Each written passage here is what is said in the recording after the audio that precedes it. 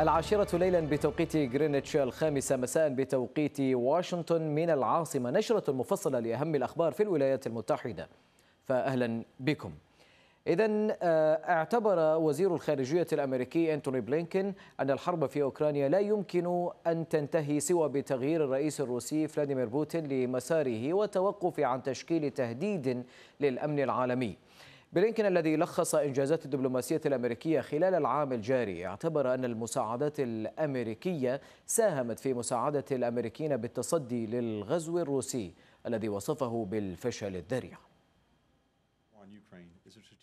هذا العام استخدمنا ولا نزال قوة الدبلوماسية الأمريكية حيث حشدنا العالم لإفشال الغزو الروسي الذريع لأوكرانيا حيث ساهمت المساعدات الأمريكية لأوكرانيا بتمكين الأوكرانيين من التصدي للحرب واستعادة أراضيهم. وهنا أقول أن على الشركاء المساهمة أكثر في هذا المجهود المتعلق بتعزيز الدفاعات الجوية الأوكرانية مثل ما قمنا نحن بتزويد أوكرانيا بمنظومة باتريوت لكنني أؤكد أن الناتو لم يكن يوما أكثر قوة وأكثر توحد توحدا مما هو اليوم ونحن نعيش حالا من الوحدة الجماعية الرائعة.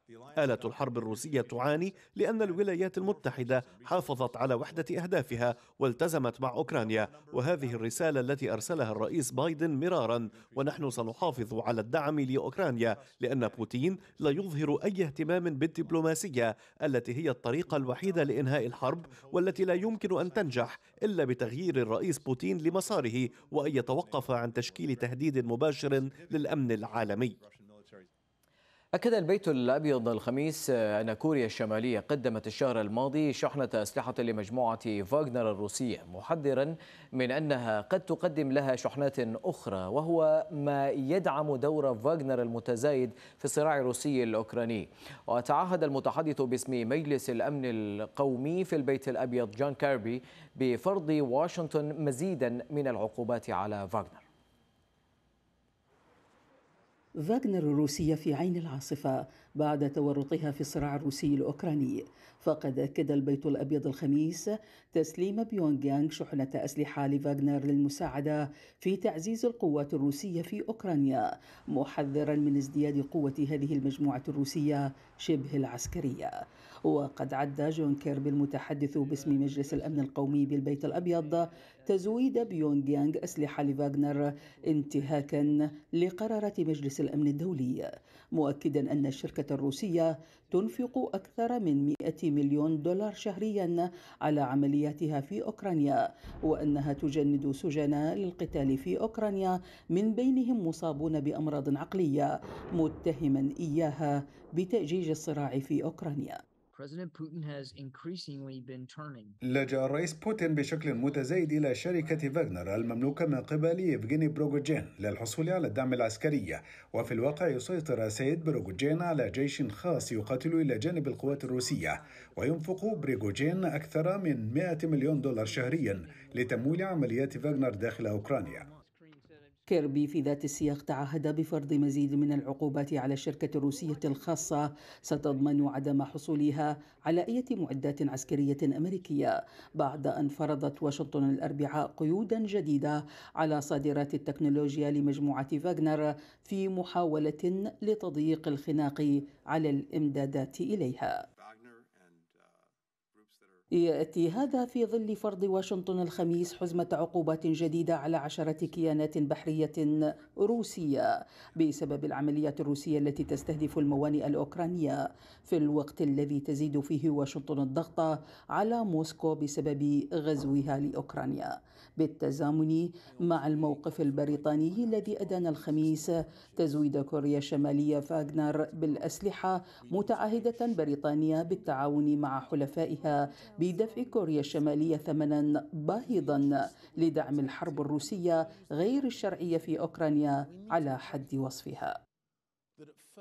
في المقابل نفى رئيس مجموعة فاغنر الروسية ما وصفه باتهامات واشنطن لها باستلام شحنة أسلحة من كوريا الشمالية واستخدامها في الصراع الروسي الأوكراني.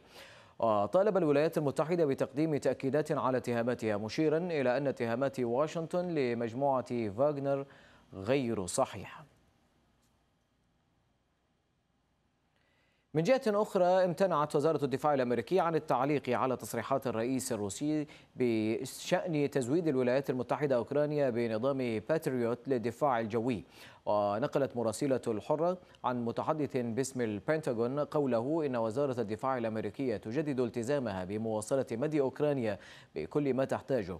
وشدد على أن الولايات المتحدة اعتادت على الخطابات الروسية المنفعلة والمهددة.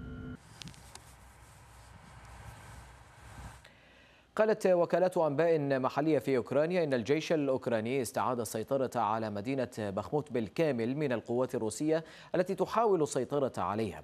وكانت المدينة قد شهدت معارك عنيفة في الآونة الأخيرة للسيطرة عليها.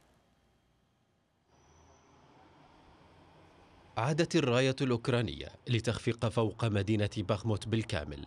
تلك المدينة التي سلم جنودها راية ترمز لصمودهم للرئيس فولوديمير زيلينسكي كي يحملها إلى واشنطن ويحمل معها معاناة المدينة من المحاولات الروسية المتكررة للسيطرة عليها.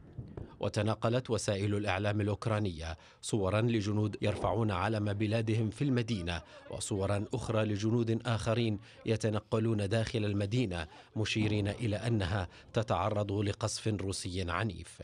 مواقع للتواصل الاجتماعي. أفادت أن الجيش الأوكراني كبد مقاتلي قوات فاغنر رأس الحربة بالهجوم على باخموت. كبدها خسائر فادحة بالأرواح والعتاد ولم يتسنى التأكد من صحة الصور من مصدر مستقل. وكانت هيئة الأركان العامة للقوات الأوكرانية قد أعلنت عن تمكنها من صد هجوم للقوات الروسية.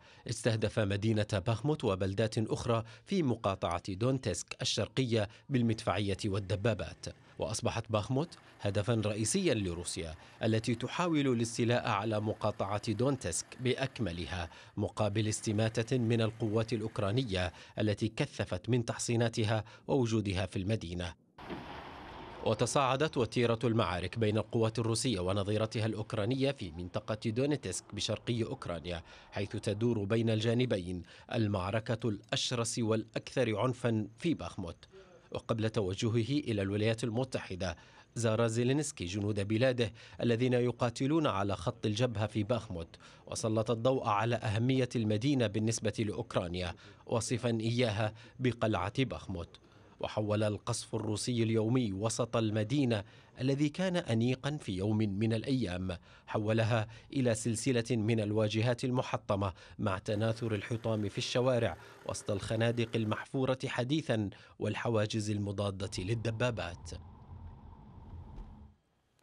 أعلن وزراء مالية مجموعة دول السبع أنهم خصصوا ما يصل إلى 32 مليار دولار من أجل الدعم الاقتصادي لأوكرانيا خلال العام المقبل مؤكدين استعدادهم لتقديم المزيد إذا لزم الأمر. وأعلن الوزراء في بيان التزامهم بتلبية احتياجات أوكرانيا المالية العاجلة كما شجعوا المانحين الآخرين أيضا على زيادة مساهمتهم. هذا وأكد وزير المالية الألماني أن دعم أوكرانيا اليوم يظل من الأولويات المطلقة لمجموعة السبع أجرى وزير الخارجية الأمريكي أنتوني بلينكين محادثات مع نظيره التركي مولوتشاوش أوغلو تناول خلالها الجانب أن تداعيات حرب أوكرانيا وفق ما ذكرته وزارة الخارجية الأمريكية. وجاء في بيان الوزارة أن بلينكين شكر أنقرة على جهودها لضمان استمرار مبادرة تصدير الحبوب عبر البحر الأسود التي توسطت فيها الأمم المتحدة. وأوضح أن الجانبين شدد على أهمية وحدة حلف الناتو في دعم الدفاع الأوكراني ضد الغزو الروسي. اقتصاديا فقد الروبل الروسي ما يقرب من 15% من قيمته أمام الدولار خلال أقل من أسبوعين بعد فرض تحديد سعر النفط والغاز ومخاوف من تداعيات العقوبات الاقتصادية الغربية على روسيا.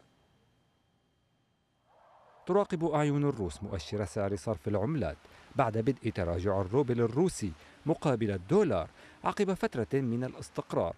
تدهور يعلم المواطن الروسي أنه سينعكس على قدرته الشرائية وزيادة الأسعار وارتفاع نسبة التضخم في البلاد وفتح باب التساؤل عند أي حد سيقف مؤشر العملات مع الأخذ بالاعتبار السيناريو المشابه الذي شهدته روسيا عند فرض العقوبات الغربية الأمريكية عليها مع بدء العملية العسكرية في أوكرانيا.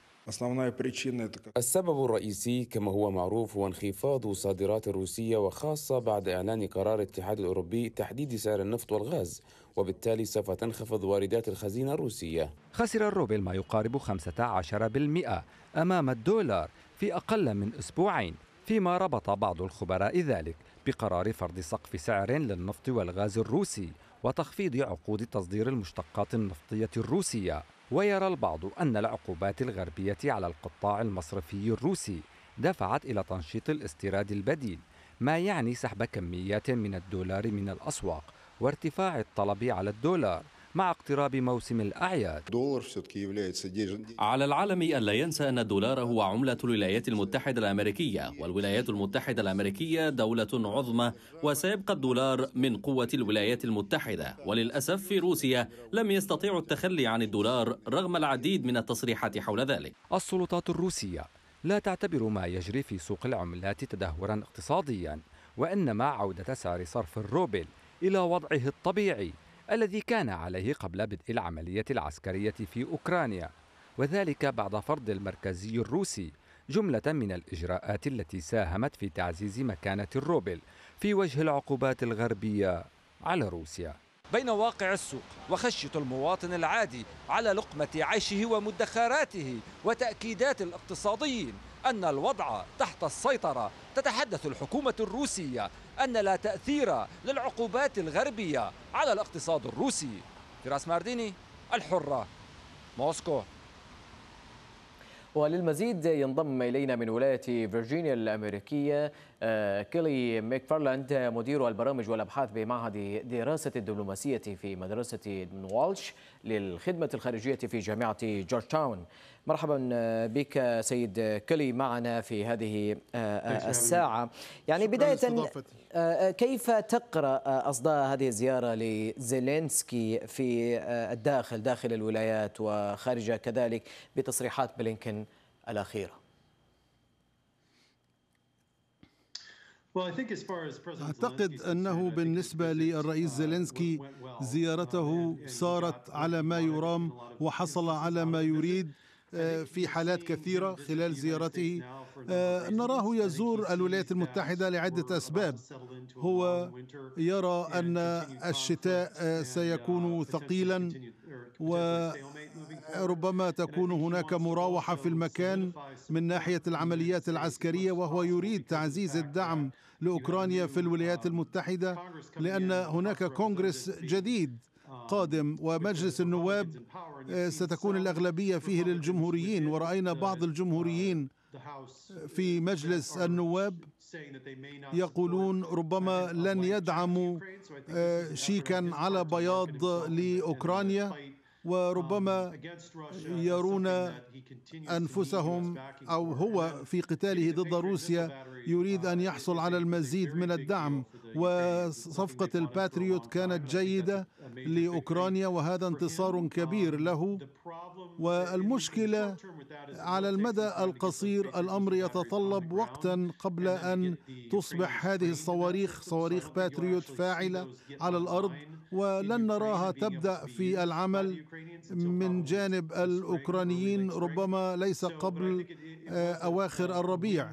اذا كان هذا انتصارا له وهو لا يزال يحصل على تمويل من الولايات المتحدة وبالتالي الزيارة كانت جيدة بالنسبة للرئيس زيلينسكي. طيب أيضا آه، آه، ما هي الرسائل برأيك التي وصلت لروسيا من خلال هذه الزيارة بعد مشاهدة كل الصور للرئيس آه، آه، آه، الأوكراني وهو في الكونغرس في البيت الأبيض وهو يصول ويجول هنا داخل واشنطن؟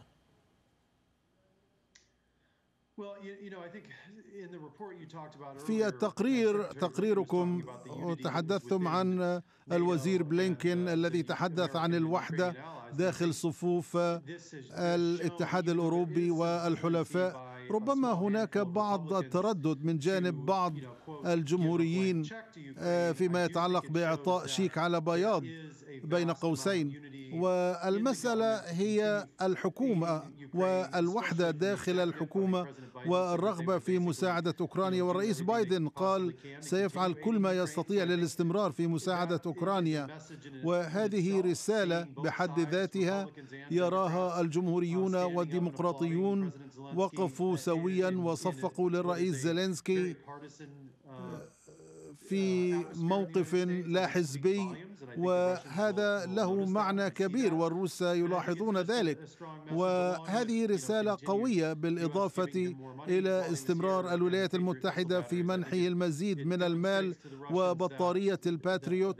وهذا يبرهن على أن الدعم الأمريكي والأوروبي سيستمر. طيب سيد كيري يعني في سياق متصل أيضا فيما يتعلق بالاتهامات الأمريكية لكوريا الشمالية بإعطاء فاغنر أسلحة خلال الفترة الماضية. طبعا فاغنر نفت هذه الاتهامات وطالبت بالتبرير. ولكن اليوم وأنت ترصد هذا الشأن ما هو الدور الذي تلعبه كوريا الشمالية في الحرب على أوكرانيا؟ أعتقد أن كوريا الشمالية ستفعل ما تستطيع للحصول على المال ومساعدة روسيا قدر الإمكان. لأنها تحتاج إلى المال وهذا يعبر أكثر عن العلاقة مع روسيا. وربما ترى الروس يذهبون إلى إيران للحصول على المسيرات وأسلحة أخرى أيضا. وهذا أيضا يعبر عن عدم قدرة الروس على تسليح أنفسهم ويحتاجون إلى التوجه إلى أماكن في الخارج للحصول على السلاح. هذا لا يتحدث كثيرا عما تفعله كوريا الشمالية. كوريا الشمالية هي دولة سلطوية وتحاول أن تحصل على حلفاء أينما استطاعت نتيجة لطبيعة النظام الكوري. طيب بالنسبة لفاغنر هناك عقوبات فرضت على فاغنر أو كذلك ستفرض. يعني ما الذي يمكن أن يتخذ من قبل الولايات المتحدة مع هذه المجموعة التي تدعمها روسيا خصوصا بعد ذلك الحديث والتشديد أيضا من قبل السيد كيربي عن العقوبات؟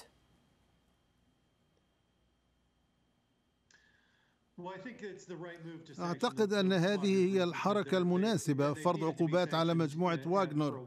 وهم يستحقون العقوبات لفترة من الوقت. فهم لاعبين سيئين ولهم أدوار في سوريا وفي مالي وجمهورية أفريقيا الوسطى. إنهم أشرار وهم ذراع للكرملين وكما قلتم في تقريركم مؤسس هذه المجموعة هو حليف وثيق لبوتين. ويمكنه أن يستخدم هذه المجموعة كمجموعة يمكن أن تفعل أشياء في بلدان أخرى. ويمكن لبوتين أن ينكر مسؤوليته عما تقوم به. أي شيء نستطيع عمله لإيقاف مجموعة واغنر ليس فقط في أوكرانيا وإنما في أماكن أخرى مثل مالي وجمهورية إفريقيا الوسطى إنهم يرتكبون فظائع ويحصلون على المال من هناك ويغنون أنفسهم وهم لاعبين أشرار يجب أن يخضعوا للعقوبات. ولكن هذا يتطلب وقتا والطريقة الوحيدة لمعاقبتهم حاليا هي الاستمرار في تمويل وتسليح الأوكرانيين لأنهم هم الذين يقاتلون هذه المجموعة على الأرض. نعم سيد كاري ميكفيرلاند مدير البرامج والأبحاث بمعهد الدراسات الدبلوماسية في مدرسة ادموند والش للخدمة الخارجية في جامعة جورج تاون. كنت معنا من فيرجينيا. شكرا جزيلا لك على هذا الطرح. من جديد أهلا بكم مشاهدينا. قال وزير الخارجية الأمريكي أنتوني بلينكين إن الطريقة المثلى للتصدي لطموحات الصين بتغيير النظام العالمي تكمن بالتنافس معها، مشيرا في الوقت نفسه إلى أهمية التعاون مع الصين فيما يتعلق بالقضايا التي تساهم في حماية شعوب العالم. الصين هي المنافس الوحيد لنا الذي يعتزم إعادة بلورة النظام العالمي والتحول إلى قوة عسكرية كبرى. ونحن سنواجه هذا التحدي بالاستثمار مع الحلفاء والأصدقاء ومنافسة الصين للدفاع عن بلادنا والحفاظ على مستقبلنا والتأكد من توقف الصين عن انتهاك حقوق الإنسان في هونغ كونغ وغيرها. نحن قمنا باعتماد مقاربة هذا العام تتعلق بمحيط هادئ مسالم بالعمل مع دول المنطقة والاتحاد الأوروبي لأننا نريد السلام والأمن في مضيق تايوان. ولهذا نحن حذرون من تحول التنافس مع الصين إلى نزاع. ومن أجل ذلك نحن نعتمد على نتائج المحادثات التي جمعت الرئيس بايدن مع نظيره الصيني وسنواصل التعاون مع الصين بما فيه مصلحة شعبينا وشعوب العالم. في موضوع آخر أيضا اعتبر بلينكن أن قرار حركة طالبان بمنع النساء من ارتياد الجامعات سيكون مكلفا مشددا على أنه سيؤثر سلبا على نيتهم في نسج علاقات مع المجتمع الدولي. ما سمعناه عن قرار حركة طالبان المتعلق بحرمان النساء والفتيات من التعليم الجامعي هو مدان بطبيعة الحال ونحن استمعنا لإدانات من مختلف دول العالم وحتى من دول إسلامية وهذا نعتبره أمرا قويا لمواجهة هكذا قرار. ما تفعله طالبان هي محاولة الحكم على الفتيات والنساء الأفغانيات بمستقبل مظلم من دون فرص ونحن نعلم ونحذر من أن المجتمع الأفغاني لن يتقدم في حال استمر الوضع على حاله سيكون هناك تكلفة إذا لم تتراجع طالبان عن قرارها وهذا الأمر سيعرقل مساعيهم لتحسين علاقاتهم مع العالم وهذا ما يريدونه ويحتاجونه بشدة لكنه لن يحدث إذا استمروا في هذا المسار. هذا واعتبر وزراء خارجية دول مجموعة السبع أن التمييز الجندري قد يرقى إلى مستوى الجريمة ضد الإنسانية وذلك تعليقا على قرار حكومة طالبان منع التعليم الجامعي للنساء. وأدان الوزراء في بيان الإجراءات التي تتخذها طالبان في حق النساء معتبرة إياها سياسة ممنهجة للقمع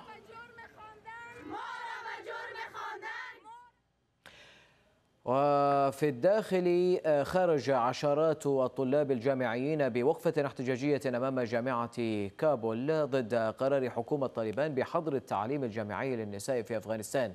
فيما مزق الطلاب أوراق الامتحانات وغادروا قاعات الدراسة تعبيرا عن رفضهم لقرار حكومة طالبان. بكاء ونحيب داخل الصفوف ولحظات ما قبل الفراق الأليم مع حلم التعليم. هي مظاهر اعتراض المرأة الأفغانية لم تطل فرحتها بالعودة إلى مقاعد الدراسة ومنعت من التعليم مرة أخرى بقرار من طالبان في كابول العاصمة مسيرة احتجاج لناشطات حاولن تحدي الحظر المفروض على المظاهرات. طالبان من جديد حولت اعتراضنا السلمي إلى العنف حيث منع مقاتلوها النساء من الاحتجاج وقامت عناصرهم بضرب المحتجات وألقت القبض على بعضهن أساليب جديدة لجأ إليها الأفغان في مواصلة الاحتجاج حيث حرص عدد كبير منهم على إيصال رسالة الاعتراض من خلال فضاء الإنترنت المفتوحة إضافة إلى المتوفر في أيديهم. طلاب رفضوا المشاركة في امتحانات العام الدراسي وأساتذة جامعيون كثيرون أعلنوا استقالاتهم. صحفيون ومذيعون انتقدوا القرار أثناء قراءة خبر المنع على شاشات التلفزة المحلية. عندما رأيت هذا القرار تعجبت ولم أفهم ماذا يحدث ثم قررت أن أقدم الاستقالة اعتراضا عليه. وليس التهرب من المسؤولية. كثيرون يفعلون الشيء نفسه. علينا إنقاذ مستقبل هذه البلاد. الحزن وفقدان الأمل. عنوان بات يخيم على الشارع الأفغاني لا سيما النساء اللواتي فقدن الآمال بشأن مستقبلهن في بلد باتت حقوقهن الأساسية والإنسانية مهددة. قرار طالبان الأخير هو إعلان نظام سياسة الفصل العنصري على أساس الجنس في أفغانستان. المرأة تحذف من الحياة وتحرم من حق التعليم والعمل فقط لأنها امرأة. أعتقد أن طالبان تخسر كثيرا في الداخل والخارج. آمل أن تتخذ المحاكم الدولية إجراءات لجري طالبان إلى العدالة طالبان. لم تتحدث عن رؤيتها للأفغان حتى الآن وهي تمتنع عن إعلان الأسباب والدلالة الشرعية التي تبني عليها قرار منع تعليم الفتيات. على الرغم من أنها تعهدت في اتفاقية الدوحة وأيضا مع المجتمع الدولي أنها ليست ضد تعليم وعمل النساء. عودة إلى الوراء وسير في الاتجاه الخاطئ.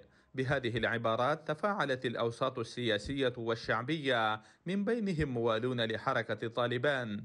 فيما دعتها واشنطن وعواسم دولية وإسلامية إلى العودة عن قرارها فورا. ودعا المبعوث الأمريكي الخاص إلى أفغانستان دول العالم.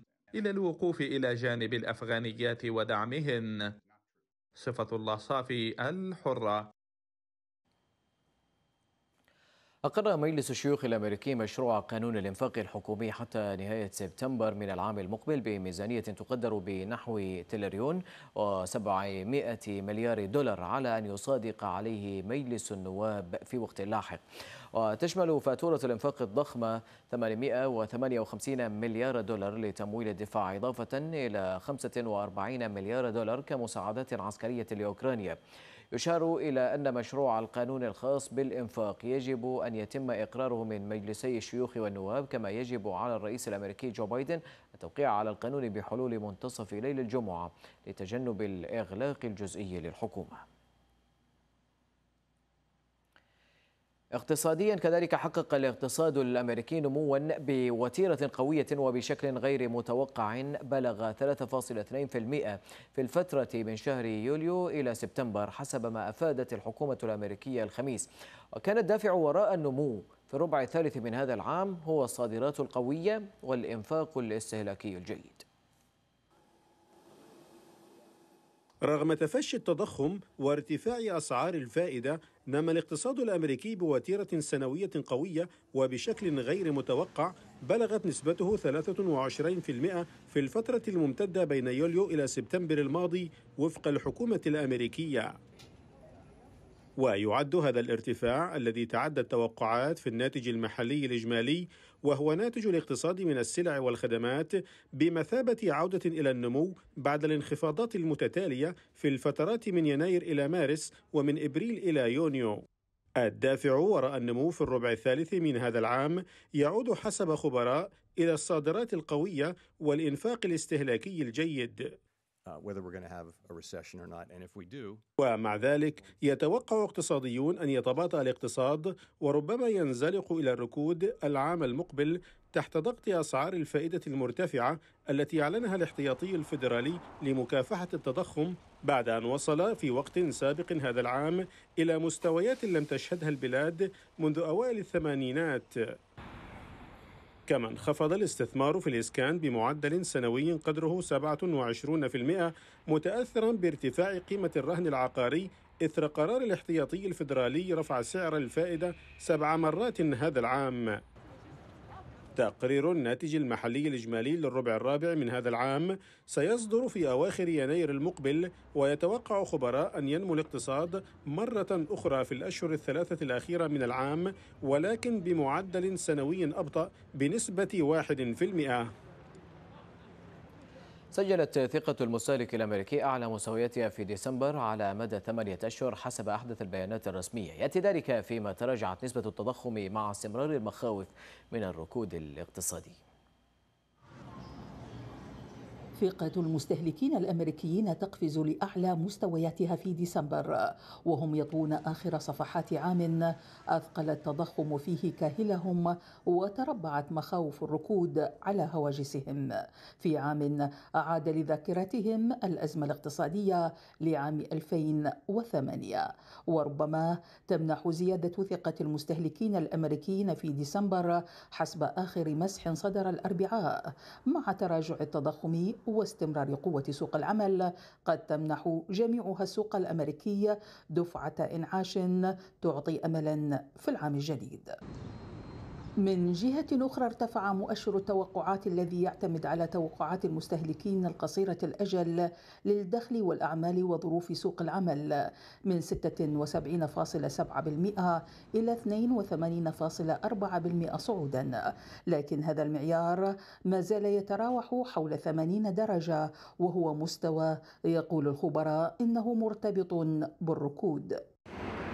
من جهة أخرى سجلت مبيعات المنازل المملوكة انخفاضا لافتا للشهر العاشر على التوالي وهو أطول امتداد منذ العام 1999 والمخاوف من حالة الركود الاقتصادي تزداد وتيرتها مع ازدياد أسرع دورة لرفع أسعار الفائدة منذ الثمانينات من قبل الاحتياطي الفيدرالي الذي يحاول تهدئة الطلب على كل شيء من الإسكان إلى العمالة وهو ما يضع المستهلكين في حالة توخي الحذر في العام المقبل.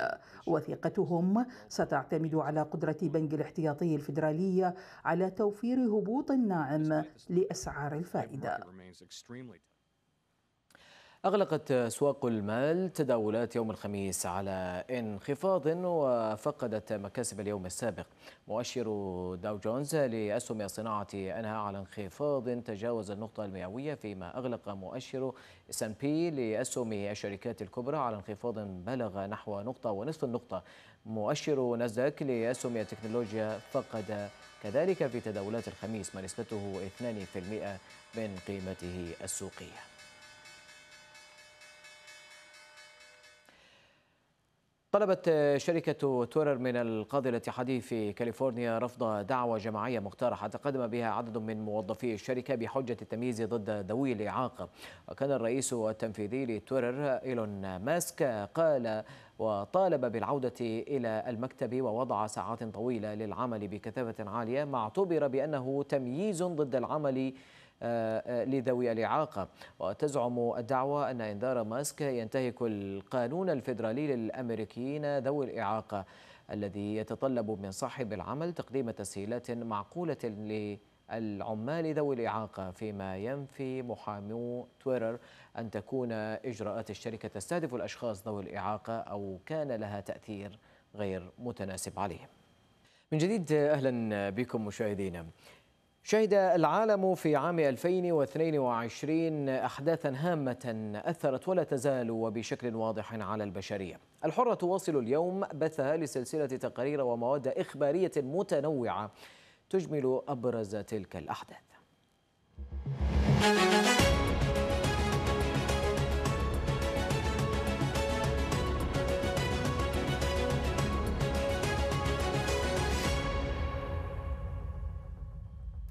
المحادثات الإيرانية التي رعاها الأوروبيون حول الملف النووي لم تؤت ثمارها فيما لم يعلن أي طرف حتى الآن عن وفاة الاتفاق النووي. وفي السياق ذاته يؤكد مسؤولون أمريكيون أن المسار الدبلوماسي هو الطريق الأفضل حتى الآن لمنع إيران من الحصول على السلاح النووي. المحادثات الأمريكية الإيرانية غير المباشرة التي رعاها الأوروبيون لأكثر من عام بشأن عودة البلدين إلى خطة العمل المشتركة الشاملة كادت تؤتي ثمارها في أغسطس الماضي لولا مطالب اللحظات الأخيرة لإيران. إيران أثبتت مرارا وتكرارا أنها غير راغبة أو غير قادرة على الالتزام بالخطوات التي يتعين عليها اتخاذها. ما زلنا نعتقد أن الدبلوماسية هي أفضل طريقة لمنع إيران من حيازة سلاح نووي لكن إذا رفض النظام هذا المسار فعلى قادته أن يدركوا أن جميع الخيارات ستكون مطروحة على الطاولة. ولم تمض أسابيع على فشل المساعي الدبلوماسية للعودة إلى الاتفاق النووي حتى بدأت التحركات الشعبية على الأراضي الإيرانية احتجاجا على مقتل مهسا أميني على يد ما يعرف بشرطة الأخلاق. In the midst of what we're seeing in Iran on the في خضم ما نراه في إيران من جانب الشعب الإيراني الشجاع وخاصة النساء والفتيات. أوضحنا مؤخرا أن محادثات خطة العمل الشاملة المشتركة ليست على جدول الأعمال في الوقت الحالي. ما نركز عليه الآن هو السبل التي يمكننا من خلالها دعم المتظاهرين في جميع أنحاء إيران.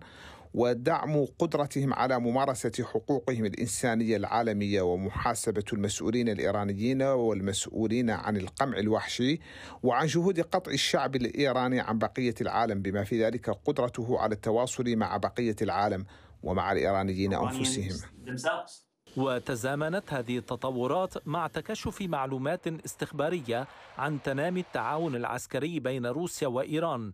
تجلى بتزويد طهران لموسكو بمسيرات استخدمها الروس لقصف البنى التحتية الأوكرانية مما أغضب الأمريكيين والأوروبيين على السواء. لم يعلنوا أي طرف حتى الساعة عن وفاة الاتفاق النووي لكن التظاهرات الشعبية المتواصلة في إيران وقمع النظام لها. إلى جانب تعزيز التعاون الدفاعي الروسي الإيراني سيجعل الأمريكيين والأوروبيين يفكرون في سبل جديدة للتعامل مع إيران وبرنامجها النووي. ميشيل غندور الحرة وزارة الخارجية الأمريكية واشنطن. ذلك سياسيا أما ميدانيا وفي الداخل الإيراني فتسببت وفاة الشاب مهسا أميني في شهر سبتمبر الماضي في اندلاع احتجاجات واسعة في عدة مدن إيرانية للمطالبة بتغيير النظام. وتقول منظمات حقوقية إن حصيلة قتلى الاحتجاجات تجاوزت ال 400 شخص في حين شرعت السلطات الإيرانية في تنفيذ إعدامات بحق أشخاص على علاقة بالتظاهر. مهسا أميني صارت العنوان الأبرز لسنة 2022 في إيران وسببا في اندلاع الاحتجاجات الأكبر والأكثر دموية في البلاد منذ سنوات طويلة. البداية كانت في الثالث عشر سبتمبر عندما اعتقلت شرطة الأخلاق في طهران مهسا أميني بسبب ما وصفته الشرطة بملابسها غير اللائقة. ثلاثة أيام في الحجز وبعدها توفيت أميني بعد دخولها في غيبوبة غير أن الشرطة أكدت أنها أصيبت بنوبة قلبية في حين تنفي عائلتها معاناة ابنتهم من أي مشكلات في القلب. وفاة أميني كانت كافية لاندلاع احتجاجات عارمة خلال جنازتها في سقز مسقط رأسها في كردستان مما اضطر قوات الأمن إلى إطلاق الغاز المسيل للدموع غير أن ذلك لم يمنع الاحتجاجات من الانتشار. لم يمر إلا يومان على وفاة أميني حتى وصل صدى الاحتجاجات إلى العاصمة الإيرانية لا سيما في جامعة طهران منددة بوفاة الشابة الكردية ومطالبة بحرية النساء. شكلت احتجاجات طهران دفعا للمتظاهرين للخروج في عدة مدن أخرى مثل رشت ومشهد وأصفهان تخللتها اندلاع اشتباكات مع قوات الأمن. الغضب في الشارع الإيراني دفع السلطات الإيرانية إلى السعي لتهدئة المحتجين عبر زيارة أحد مساعدي المرشد الإيراني علي خامنائي عائلة أميني لتقديم التعازي معبرا عما وصفه بتألم خامنائي بوفاتها. محاولة السلطات لم تتوقف عند هذا الحد فبالإضافة إلى محاولة قمع المتظاهرين قيدت استخدام تطبيقي إنستغرام وواتساب بهدف وقف زخم الدعوات إلى التظاهر بل ذهبت السلطات الإيرانية أكثر من ذلك عندما أعلن خامنائي في أول تصريحاته بشأن الاضطرابات بأنه يدعم قوة الأمن في تصديها للمتظاهرين. حملات القمع هذه أدت إلى مقتل أكثر من 400 شخص بحسب منظمات حقوقية. في حين تتحدث السلطات الإيرانية عن وفاة 300 شخص منذ بدء الاحتجاجات. انتظر الإيرانيون إلى الرابع من ديسمبر ليعلن المدعي العام أن شرطة الأخلاق قد تم حلها لكن لم يصدر تأكيد لذلك من وزارة الداخلية التي تشرف عليها. كما قالت السلطات إن قانون الحجاب سيجري تنفيذه بوسائل أخرى. وبالإضافة إلى حملة القمع باشرت السلطات الإيرانية في تنفيذ إعدامات بحق أشخاص على ارتباط بالاحتجاجات وسط تنديد دولي واسع بما تصفه المنظمات الحقوقية بالمحاكمات السورية التي تتم في سرية تامة. وضمن سلسلة تقارير نهاية العام التقت الحرة بالناشطة الكردية الإيرانية شكريا بارادوستا التي تتعرض للتهديدات من النظام الإيراني رغم وجودها في الولايات المتحدة الأمريكية. وذلك إثر دعمها للتظاهرات التي انطلقت في بلادها احتجاجا على مقتل مهسا أميني على يد ما يسمى بشرطة الأخلاق. شكريا أخبرت الحرة عن القمع الذي يتعرض له أبناء جلدتها داخل إيران. في حين تؤكد الإدارة الأمريكية أنها تسعى لاكتشاف طرق لمساعدة الشعب الإيراني في نضاله ونيل حقوقه. شكرية. ناشطة كردية إيرانية تعيش في الولايات المتحدة. تواجه تهديدات من النظام الإيراني بسبب نضالها المستمر ضده.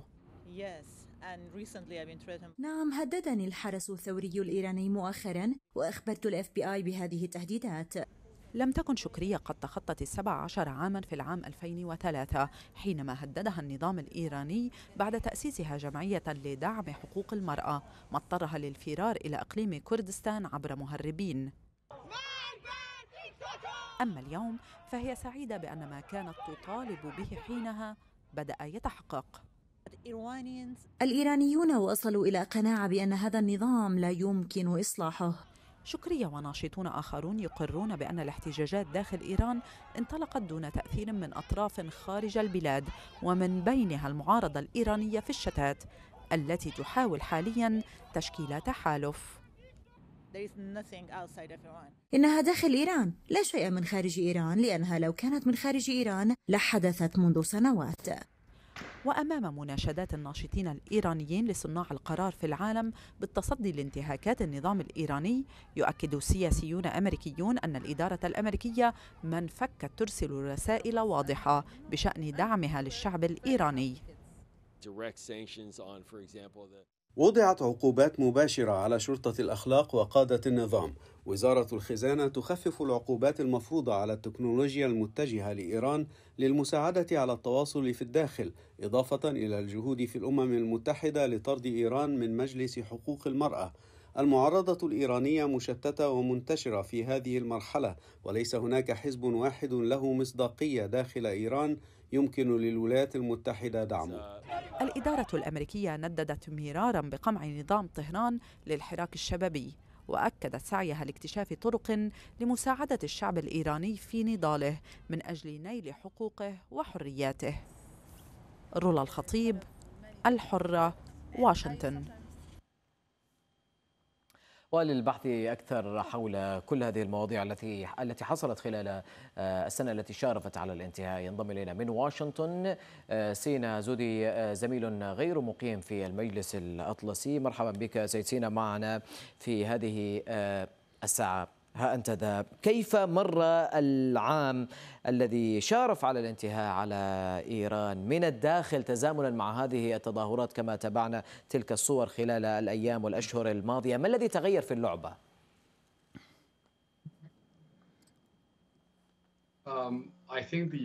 أعتقد أن عام 22 لم يكن عاما جيدا.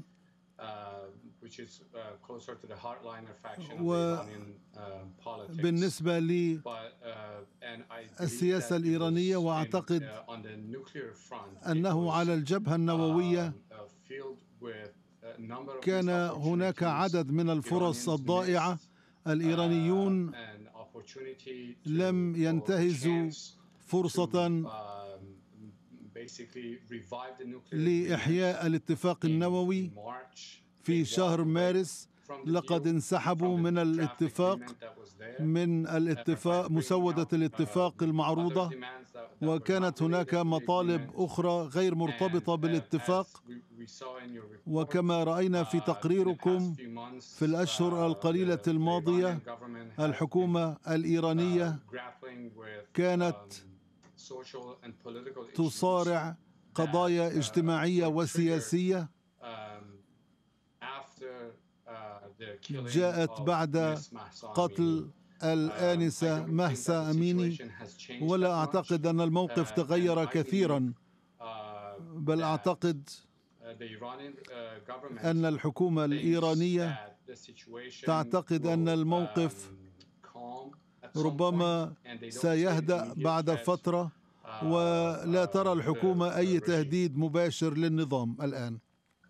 طيب إلى أين تسير الأمور فيما يتعلق بعلاقة السلطة مع الشعب اليوم في إيران؟ يعني بعد هذه التظاهرات عقب مقتل مهسا أميني أعتقد أن هذه الاحتجاجات بغض النظر عن نتيجتها. وكما قلت أعتقد أن النظام سيبقى ولكن بغض النظر عن النتيجة العلاقة بين السكان الإيرانيين والنظام ستتغير إلى حد كبير بعد هذه الاحتجاجات؟ ماذا أقصد بذلك؟ قبل هذه الاحتجاجات كان هناك تحت السطح بعض الشرعية.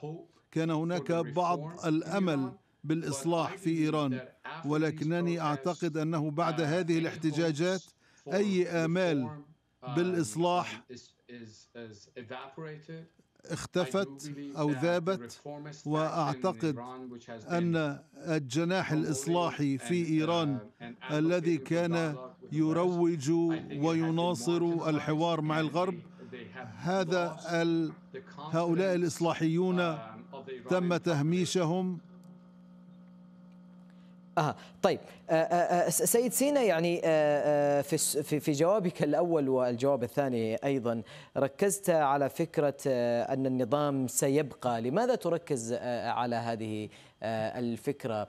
ما هي يعني على ماذا يعني يرتكز النظام اليوم في إيران ولذلك سيبقى كما تقول؟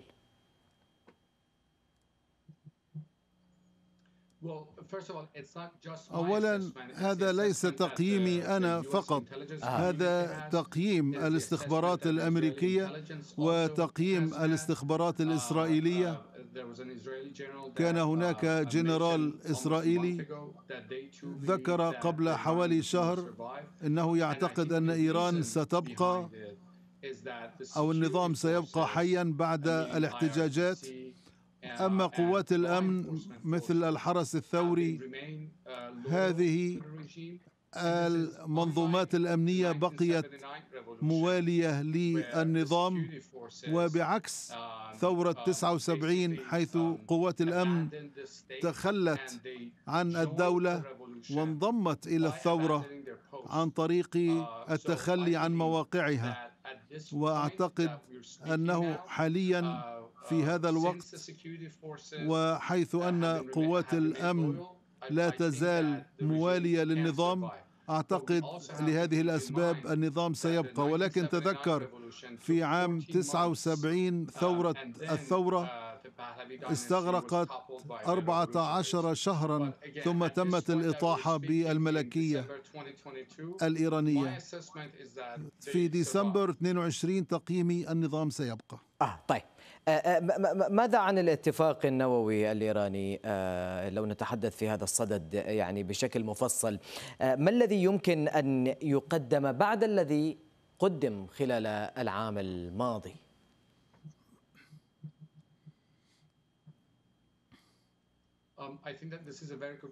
هذا سؤال جيد. حاليا أطراف الاتفاق بمعنى الصين روسيا وبريطانيا وفرنسا وألمانيا بالإضافة إلى الولايات المتحدة. هؤلاء أو أمريكا غادرت في عام 18 وهذه الدول لن تقدم أي تنازلات لإيران. هناك مطالب تقدمت بها إيران ليس لها علاقة بالاتفاق وهذا هو موقف الولايات المتحدة. ومنذ ومنذ بدء الاحتجاجات في إيران وقمعها والانتهاكات الجسيمة لحقوق الإنسان في إيران نتيجة لهذا كله لا أعتقد على الأقل الولايات المتحدة والدول الغربية التي تفاوضت مع إيران؟ لا أعتقد أنها مستعدة لتقديم أي تنازلات جديدة لإيران حاليا. وذلك لأن هذا سيكون صعبا من الناحية السياسية داخل عواصم هذه البلدان. نعم سيد سينا زودي زميل غير مقيم في المجلس الأطلسي. كنت معنا من واشنطن. شكرا جزيلا لك على قبول هذه الدعوة.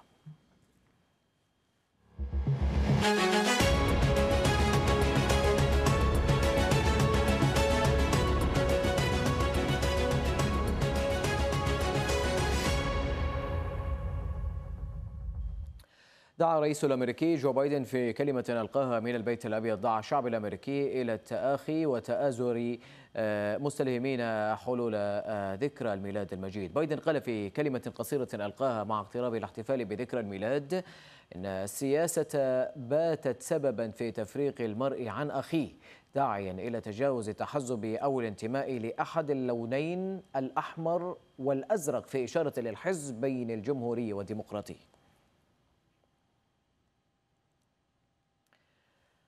مثل سام بانكمان فريد المؤسس المشارك لشركة FTX المفلسة أمام قاض في نيويورك الخميس. وبحسب أحد القضاة فإن رائد الأعمال في مجال العملات المشفرة بانكمان يمكنه إصدار سندات بقيمة 250 مليون دولار والعيش في منزل والديه في كاليفورنيا بينما ينتظر المحاكمة بتهم تضليل المستثمرين ونهب ودائع العملاء على منصة تداول FTX الخاصة به. ألغت شركات الطيران أكثر من 2700 رحلة جوية داخل الولايات المتحدة ليومي الخميس والجمعة إثر العاصفة الشتوية القوية التي تضرب عدة ولايات في البلاد. وتزامنت الحالة الجوية القاسية مع بداية موسم السفر للعطلات إذ تعتبر هذه الفترة من أكثر المواسم ازدحاما على الإطلاق وتسببت في تعطيل سفر الآلاف. وقالت إدارة الطيران الفيدرالية إن العاصفة الشتوية تسببت في حدوث عاصفة ثلجية في الغرب الأوسط مع توقع اضطرابات اضطرابات سفر كبيرة في شيكاغو وديترويت.